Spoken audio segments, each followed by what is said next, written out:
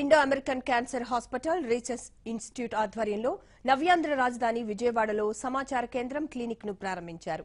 ఈ కార్యక్రమంలో Basava Tarakam hospital chairman MLA Balakrishna AP speaker Kodela మంత్రి దేవినేని ఉమా తదితరులు పాల్గొన్నారు.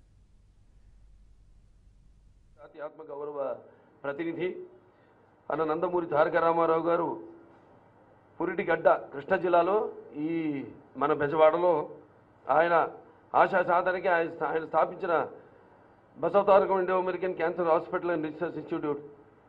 కార్యకలాపాలు ప్రారంభించే అద్భుత అవకాశం మా అందరికీ కలిగించిన ఈ ఇది ఇవి వేదిక. అందుకే ఇంత ఉత్సాహం ఉద్వేగం మా అందరిలో. ప్రస్తుతానికి Indo American cancer hospital and research institute విజయవాడలో ఒక ఇన్ఫర్మేషన్ అండ్ ఓపీ సెంటర్ ప్రారంభోత్సవం జరుపుకుంది. నవ్యాంధ్రలో ఇది మొదటి అడుగు మాత్రమే. కానీ ఈ ప్రయాణం ఇప్పటిది కాదు. ఒక మహానుభావుడి ఆశ పురుడు పోసుకుని ఇప్పటికీ రెండు దశాబ్దాలు అవుతుంది. తన అర్థాంగి అంటే మా అమ్మగారు బసవ బసవరామ తారకం గారు ఈ క్యాన్సర్ వ్యాధితో బాధపడుతూ ఆమె బాధను కళ్ళారా చూసిన వ్యక్తిగా ఆమె కోరిక మేరకు క్యాన్సర్ చికిత్స అందరికీ అందుబాటులోకి రావాలనే మహదాశయంతో బసవ తారకం ట్రస్ట్కి అంకురార్పణ చేసిన వ్యక్తి అన్న నందమూరి తారక రామారావు గారు.